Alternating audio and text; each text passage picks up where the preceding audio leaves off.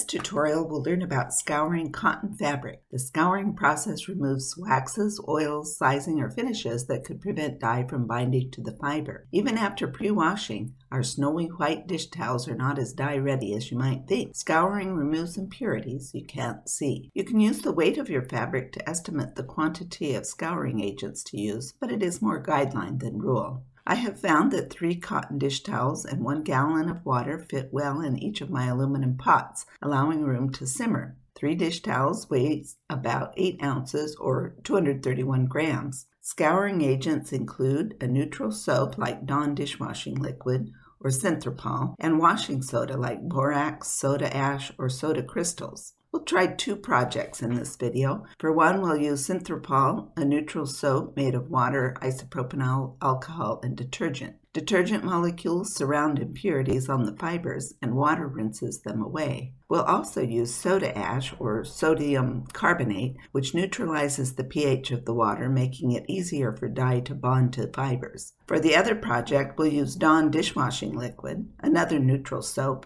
and soda ash. Note that soda ash is caustic, so it's a good idea to use rubber gloves when handling it. Scouring techniques vary, but typically pre-wash your fabric with detergent, fill a large pot with water and stir in scouring agents. Add fabric and more water so the fabric is covered but not crowded. Simmer for an hour or two or soak overnight. Rinse in cold water, then wash in washing machine without detergent. Optionally, add an extra rinse cycle. Use towels while wet or hang to dry. Let's get started. In the first project, we processed six dish towels in two pots. In each pot, bring four quarts water to a boil, add one half teaspoon synthropol, two teaspoons soda ash, and the dish towels. Lower the heat and let simmer. After about half an hour, the water starts turning brown.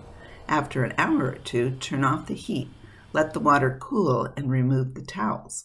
Rinse towels in cold water, then squeeze out excess water. Wash the towels in the washing machine. No detergent. Initially, I had trouble with sudsy water spilling over the pot. I finally worked out the temperature and water level to achieve a nice simmer. Since then, I've learned that Dharma Trading Company carries a suds-free Synthropol, which might be worth trying. It's surprising how brown the water turned. These are the impurities. In the second project, we processed three dish towels in one pot.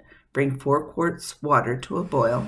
Add 1 half teaspoon Dawn dishwashing liquid, 1 tablespoon soda ash, and the dish towels. Lower the heat and let simmer.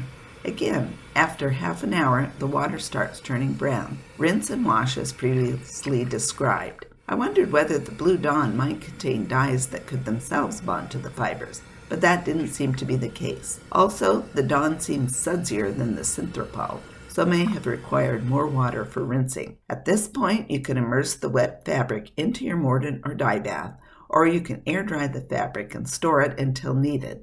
Label it so you know that it was scoured.